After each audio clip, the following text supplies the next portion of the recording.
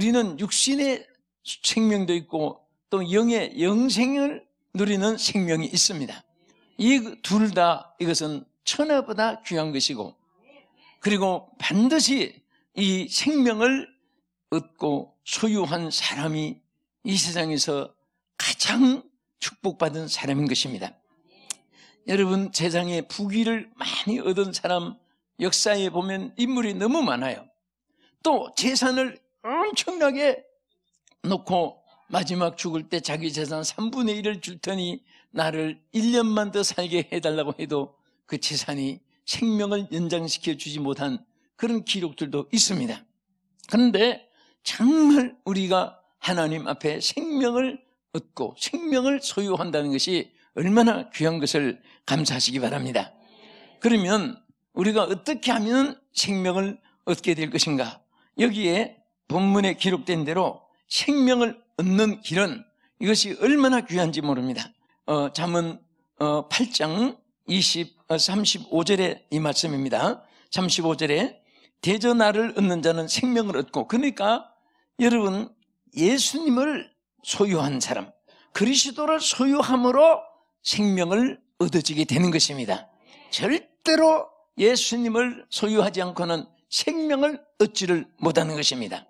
그래서 오늘 잠언 8장 이 35절의 이 말씀은 반드시 오늘 예수 그리스도를 통해서 하나님을 우리가 만날 때에 또 하나님은 우리에게 생명을 얻게 하여 주신 것입니다. 여러분 예수님을 만나신 분 아멘 하십시다.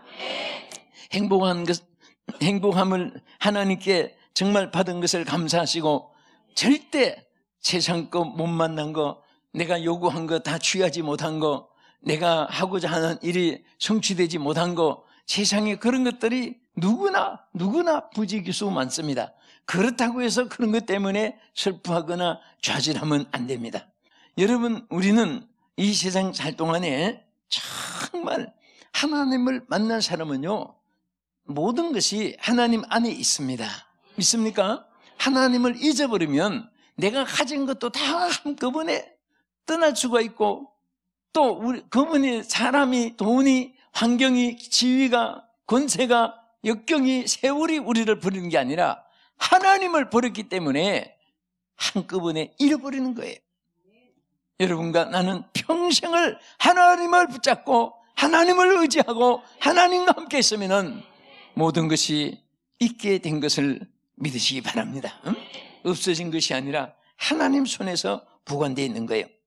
그래서 요한복음 3장 36절에 뭐라고 있습니까? 아들을 믿는 자에게는 영생이 있고 할렐루야. 뭐가 있습니까? 영생이. 누구를 믿는 자는 아들 하나님의 아들 예수 그리스도를 믿는 자. 또 순종 이 아들에게 순종하지 아니하는 자는 영생을 보지도 못하고 도리어 하나님의 진노가 그 위에 머물러 있느니라 그랬습니다. 그래서 하나님은 극과 극입니다. 축복 아니면 저주입니다. 천국 아니면 지옥입니다. 광명이 아니면 어둠이고 앞이 아니면 뒤고 위에가 아니면 아래고 전부 다 상대성으로 되어 있습니다. 하나님 만날 때 영생이 있고 하나님을 만나지 못하면 오히려 심판과 진노가 머물러 있는 것입니다. 그래서 요한복음 10장도 내가 그들에게 영생을 주노니 영원히 멸망치 아니할 것이 또 그들이 그들을 내 손에서 빼앗을 자가 없게 한다고 했습니다. 여러분 이것은 무슨 말입니까? 하나님이 우리에게 영생을 주셔가지고 이제 영생을 받았으니 네가 알아서 해라. 놓치 버든지 또 취하든지 뭐 끝까지 영생이 참여하든지 뭐 지옥에 가든지 이제는 네가 알아서 해라. 절대 하나님은 그렇게 하지 않습니다. 오늘 이 말씀은 무슨 말입니까? 절대 하나님은 우리를 놓지 않아요. 택하심을 받은 자는 하나님을 쉽게 하나님이 무관심하거나 관심을 가지거나 또 멀리 두거나 가까이 두거나 하루에도 변덕이 있으신 하나님이 아닙니다. 어제나 오늘이나 영원히 변치 않으시는 하나님이신 줄 믿으시기 바랍니다. 변찮는 주님의 사랑과 거룩한 보혈의 공로를 우리 다 찬양을 합시다. 주님을 만나볼 때까지. 아멘. 나머지는 집에 가서 부르시고. 그래서 주님은 영원히 변치 않는. 그래서 우리가 늘 찬송을 부른 그대로. 할렐루야. 그래서 영생을 주는데 영원히 멸망치 않을 것이라고 했습니다. 그리고 그들을 내 손에서 빼앗을 자가 없느니라.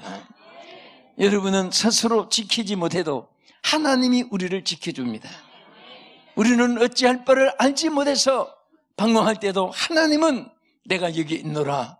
내가 곧 길이요 진리요 생명이니라. 나를 따는 자는 어둠에 거하지 않느니라. 하나님께서 우리에게 말씀하시고 약속해 주었습니다. 우리가 연약한 가지지만은 포도나무에 붙어 있으면 그 포도나무 연약한 가지가 얼마나 많은 열매가 맺힙니까? 그런데 그 가지가 잘라지면은 많은 열매는 그냥 포도 한 알도 맺힐 수가 없는 거예요.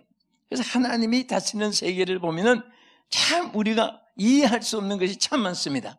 그렇게 가는 가지인데 어떻게 그 많은 열매가 맺혔을까?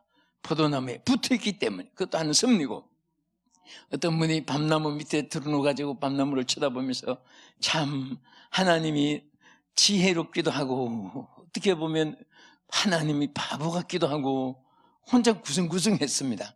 왜 그랬나 하면 아니 이렇게 큰 나무에 저 조그마한 밤송이들이 달려가지고 그 어떻게 저렇게 어? 작은 포도나무는 열매가 많은데 이 밤송이 큰 나무에 저게 뭔가 하고 비웃고 누웠는데 바람이 불더니 밤송이가 이마에 팍 떨어졌는데 그때 이분이 아 잘못했다고 이게 수박등이만 했으면 나는 오늘 그 세상 떠났는데 아, 열매가 작아서 천만다행이구나. 그래서 죽지 않고 사는 것에 감사했던 말이 있습니다. 우리가 이렇게 하나님의 다시는 세계는 뭐든지 보면 하나님의 뜻이 계세요. 응? 제일 중요한 것은 하나님 뜻이 계시는 사실입니다. 내가 잘 될 때도 하나님 뜻이고 어려움이 있어도 하나님의 자녀들은 하나님 뜻이 계십니다. 그런데 그 뜻은 어려움이 오히려 다른 것에 플러스가 돼 주어요. 여러분 어떤 때는요 많이 있어도 신앙생활이 더 잘 되는 사람은 자꾸 부어줍니다.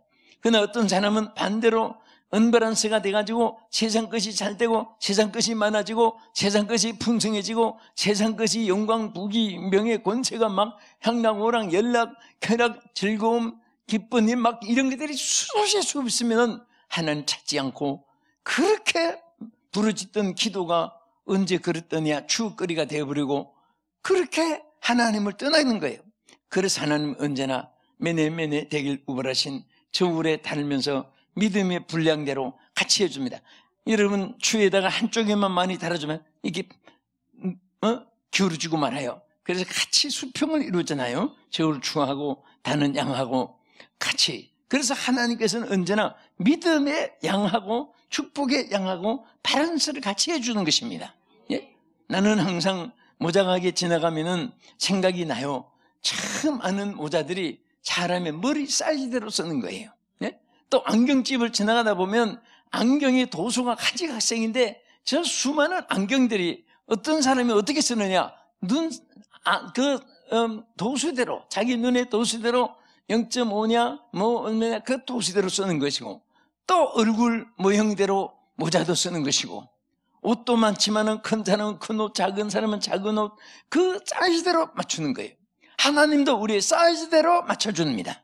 무슨 사이즈대로? 믿음의 사이즈대로. 무슨 사이즈요? 예, 믿음의 사이즈대로 맞춰주는 거예요. 그러니까 믿음의 사이즈가 크면 클수록 좋은 일이 어, 뭐 기대 안 해도 하나님은 그 사이즈대로 채워주시고 역사해 줄 줄 믿으시기 바랍니다. 응?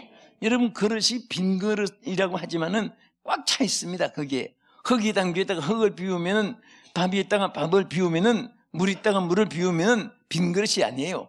비운 것 마치 공기가 또 차지는 거예요. 예, 공기가. 그래서 우리는 마음에 비어지는 대로 하나님의 것이 채워주는 줄 믿으시기 바랍니다. 세상 것이 비워지면 하나님 것이 채워지고 세상 것이 찾으면 하나님 것이 들어가지 못하는 거예요. 그래서 항상 우리는 마음을 비우고 마음을 낮추고 또 자기의 어리석음, 어리석음과 무능함을 고백하고 하나님의 은혜를 사모하면 하나님 것으로 채워주실 줄 믿으시기 바랍니다. 항상 그래서 우리는 생명을 사모해야 됩니다. 로랑 로망이라고 한 사람 말하기를 인생의 생명을 사랑하는 것은 인생이 생명을 사랑하는 것은 가장 첫째가 되는 믿음이기 때문이다. 생명 사랑하는 것보다 더 아름다움이 없고 더 가치 있는 것이 없습니다. 그래서 여러분 주변에 생명을 사랑하고 영혼을 사랑하는 사람은 인품이 다르고 언어가 다르고 행동이 다르고 취미가 다르고 삶의 생활의 문화가 달라지는 거예요. 그러나 영혼을 등한히 하는 사람, 사람 인격도 등한히 합니다. 사람의 존엄도 무시해버립니다. 그런 사람은 자기 멋대로 사는 거예요. 그래서 우리는 그리스도를 소유함으로 얻어진 생명을 귀히 여기고 또 감사하시기 바랍니다. 두 번째는 어떤 사람이 생명을 얻게 되느냐? 여기 시편 34편 12절에 보면은 생명을 사랑하고 연수를 사랑하여 연수는 장수를 말합니다. 오래 사는 거. 연수를 사랑하여 복 받기를 원하는 사람은 자 다시 말하면 생명을 얻을 사람은 금할 것 같아요. 어떤 사람이냐? 내 혀를 악에서 금하여 내 입술을 거짓말에서 금할지어다. 자, 사람이 악을 행하는데 악을 행하는데요. 세 가지 행동으로 악을 행합니다. 가장 기본적이고 첫째 마음에서 악을 행합니다. 그래서 마음이 악한 사람이 있고 마음이 선한 사람이 있습니다. 그럼 색깔이 빨가냐, 파라냐, 노래냐, 색감이냐 눈에 안 보입니다. 안 보이지만 자기 마음에 자기가 담고 있는 거예요. 그것은 어찌할 수가 없습니다. 악한 마음을 품으면 악한 행동이 나오고 선한 마음을 품으면 선한 일을 하게 되는 것입니다. 우리 오른손 한번 들고 자기 가슴에 한번 대보세요. 남을 진찰하지 말고 자기를 내가 지금 악한 사람일까 선한 사람일까 내 마음이 지금 악한가 선한가 자, 오늘 다 선한 사람 우리 되지기를 축원합니다. 따라합시다. 주여, 악을 제거해 주시고 선한 사람 되게 해 주옵소서. 강박한 사람 되지 말게 하시고 착한 사람이 되게 하옵소서. 아멘. 아멘. 우리 옆에 분에게 당신은 착한 사람입니다. 선한 사람입니다. 정직한 분이십니다. 겸손한 분이십니다.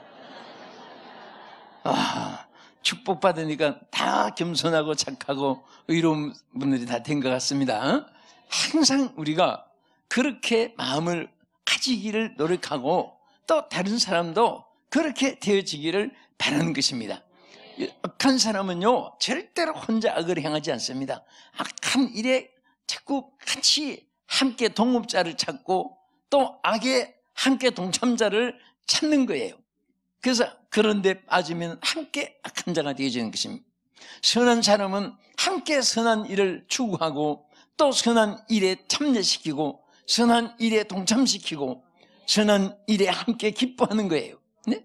선을 기뻐하는 사람은요, 얼마나 그분들의 마음이 하나님의 사랑을 받을 마음이고 악한 일을 하면서 끌끌대고 웃고 그렇게 함께 그런 사람은요 말소리도 전부 다 거칠고 험악하고 그들의 세계의 말을 들어보면 소름이 끼치는 말이 그 많아요.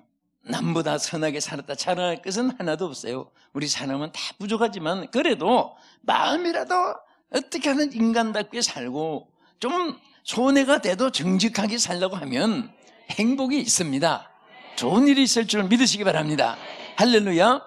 그래서 사람은 말로 생각으로 악하고 악한 일을 하고 그 다음에 말로 악한 일을 하고 그 다음에 행동으로 악한 일을 하는 거예요. 그 마음도 착해야 되고 말도 착해야 되고 행동도 선해야 되는 것입니다. 오늘 우리 세 가지가 다 예수의 이름으로 새롭게 되기를 축원합니다. 고치질지어다 할렐루야. 우리 다 새롭게 돼야 돼. 응? 첫째는 우리가 마음을 착하게 가져야 됩니다. 그래서 바울은 너희 안에 이 마음을 품으라. 곧 그리스도 예수의 마음이니. 예? 우리 예수의 마음을 품으면 돼요. 음? 그래서 요즘에는 하도 바꿔야 되고 고쳐야 되고 개조해야 되고 리모델링 해야 되고 그러기 많으니까 요즘 사람의 마음까지 change mind라는 말을 많이 했어요. 마음을 바꾸라. 뭔가 잘못됐기 때문에 그런 유행어처럼 나오잖아요. change mind. 우리는 마음을 정말 바꾸면요. 안경을 바꾸면 검은 안경 썼다가 파란 안경 파랗게 보이고 노란 안경 써 노랗게 보이고 하얀 또 투명 채색이 투명으로 보이고 전부 다 자기 눈에 안경대로 색깔대로 판단하고 자기 감정대로 전부 다 정의를 내리고 이렇게 사는 세상이기 때문에 우리는 표준을 언제나 하나님께 맞춰야 됩니다. 하나님께 항상 무엇이라도 하나님이라면 어떻게 생각하실까? 하나님이면 어떻게 하실까? 그것을 생각하면요 절대 걱정할 거 없어요. 뭐 교수님 머리 아프고 골치 아프고 마음 답답하고 뭐 이렇게 할 필요가 없어요. 주여 주의 뜻이 어디 옵니까? 알게 해주시고 깨닫게 해주시고 그대로 되게 하여 주시옵소서. 네, 하나님께서 선하게 인도해 주실 줄 믿습니다.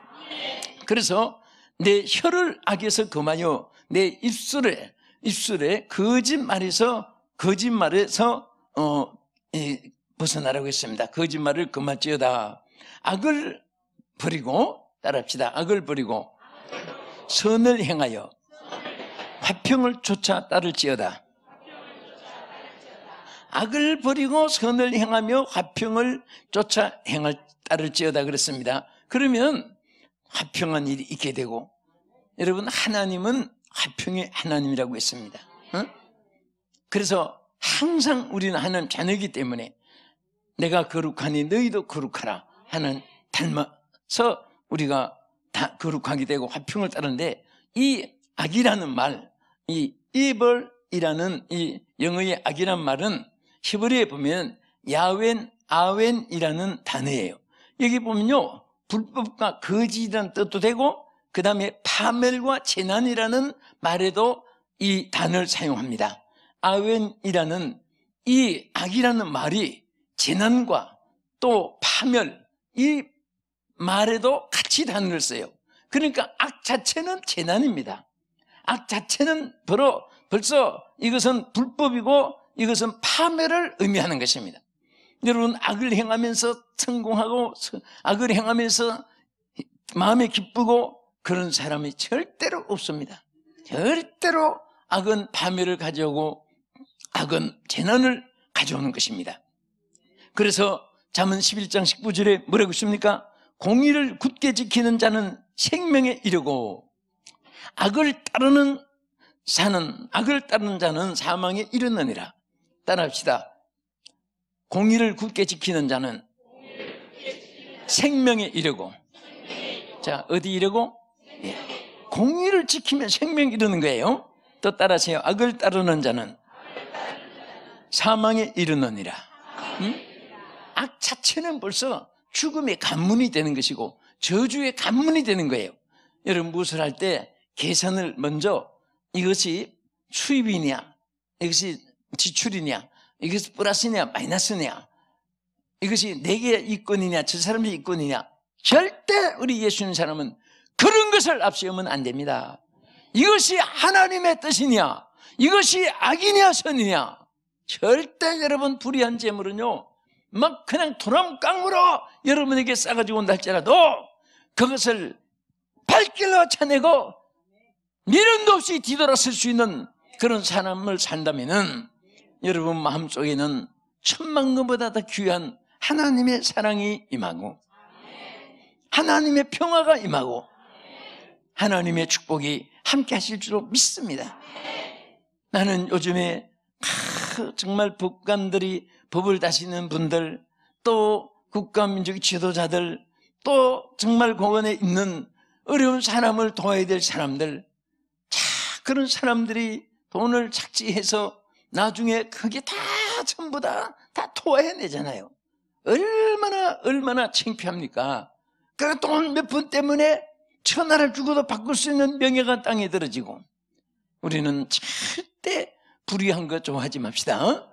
어? 불의한 재물을 놓고 왕실 같은 집에 사는 것보다도 차라리 월세 사글세 살아도 라면을 끓여먹고 살아도 정직하게 사는 삶이 얼마나 행복합니까? 얼마나 기쁘고 감사합니까? 우리가 하나님이 기뻐하는 일을 한다면 하나님도 여러분들을 기뻐하는 것입니다. 잠언 22장 8절에는 악을 뿌리는 자는 재앙을 거두게 된다고 했습니다. 다 심는 대로 거두는 거예요. 그래서 우리는 항상 사랑하는 자여 악한 것을 본받지 말고 선한 것을 본받아라. 이 요한 3서 1장 11절의 말씀대로 우리는 본받는 것도 악은 모양이라도 버리면서 악을 본받지 말고 선한 것을 본받으며 살아야 됩니다. 왜 그러냐? 선을 행하는 자는 하나님께 속하였고 악을 행하는 자는 하나님을 배우지도 못한다고 했습니다. 여러분 주여 할 때 은혜여 내가 여기 있노라 그때 그때 만나 주십니다. 그러나 악을 행하면 하나님을 배우지 못하는 거예요. 악은 큰 부릉탱이가 돼가지고 하나님과 우리 인간 사이를 장벽을 쌓아놓는 것입니다. 그래서 우리는 하나님 앞에 철저하게 회개하고 회개하는 자는 하나님이 또 기억지도 않고 동에서 서가 먼것 같이 옮겨주고 등 뒤로 던져버린다고 했고 하나님께서 기억지도 않는다고 말씀을 했습니다. 그래서 우리는 항상 선을 행하며 주감을 삽시다. 끝으로 우리가 생명을 얻는 길은 성령님이 내주하심을 내주하심으로 얻어지게 되는 것입니다. 아멘. 성령님이 내주하심으로 왜? 성령님 자체를 생명의 성령이라고 말씀했습니다. 여러분 잘 아시는 로마서 8장 2절에 뭐라고 있습니까? 이는 그리스도 예수 안에 있는 생명의 성령의 법이 죄와 사망의 법에서 너희를 해방하였습니다. 죄와 사망의 법이 뭡니까? 심판을 받게 되고 지옥에 가는 겁니다. 그러나 성령의 법이 이것을 다, 다 해방시켜 주었습니다. 거기서 벗어나게 했습니다. 감옥에 있는 사람이 특사로 성탄절이나 왕복절에 나올 때 그분들이 얼마나 기뻐합니까? 다른 사람이 붙잡고 고소를 해도 특사를 받으면 정죄가 안 되는 거예요. 우리는 하나님 앞에 회개할 때는요, 하나님께서 동에서 서가 먼 것 같이 다 옮겨주시고, 지난 죄는 사함받고 주 예수와 동행하니 그 어디나 천국이 되는 것입니다. 아멘. 그래서 용서받은 심령은 차도 평안이 있고 깨도 기쁨이 있고 용서받지 못한 사람들은 차도 불안하고 깨도 불안한 거예요. 응? 어디든지 소리만 나면 죄진 사람들은 깜짝 놀랍니다. 자기를 잡으려고 소리친 줄 알고 크랩슨만 울려도 깜짝 놀래고 문, 문소리만 나도 깜짝 놀래고 그러나 죄가 없는 사람은 벼락이 떨어져도 감각이 없습니다. 벼락 떨어지는구나. 예? 그래서 언제나 우리는 성령이 항상 내주하심으로. 그래서 우리가 사는 것은 내가 사는 것이 아니에요. 이 말씀 보면 하나님의 영이 우리 안에 거하심으로 우리도 살게 되는 것입니다. 생명의 성령이기 때문에 우리도 생명의 사람이 되는 것이고 성령은 넘치 무담이 없기 때문에 성령님과 함께하는 사람은 겁나는 것이 없습니다. 여러분 제일 부정된 생각이 날 때 긍정적인 생각이 날 때 비교해 보세요. 성령님이 함께 하시는 그런 때는 된다, 할 수 있다, 해보자, 문제 없다, 틀림없어, 나는 된다, 하는 나와 함께 하신다, 나는 승리한다. 이렇게 고백이 나옵니다. 그러나 성령님이 함께 하지 않으면 자기 인간의 생각만 있어. 가지도 않고 못 간다. 보지도 않고 싫다. 해보지도 않고 불가능하다. 뭐든지 안 되는 거. 못한다, 틀렸다, 망했다, 죽었다, 끝장이다. 자꾸 이런 생각이 나면 그건 일평생 실패자가 되는 것입니다. 우리는 못해도 성령님이 하게 하신다. 나는 못해도 성령님은 하게 하신다. 나는 할 수 있다. 성령님은 하게 하신다. 이런 믿음을 가질 때 개인도 그렇게 되고 가정도 잘 되고 교회도 잘 되고 안 되는 것을 생각하면 안 됩니다. 되는 것을 생각해야 돼요. 딴 사람도 다 됐는데 왜 나는 안 될 것인가? 나도 할 수 있다 생각해야 됩니다. 딴 사람 망한 사람 보고 나는 저렇게 어, 될 가능이 있다. 그건 해보지도 않고 스스로가 자기 함정에 정글에 빠져 들어가는 것입니다.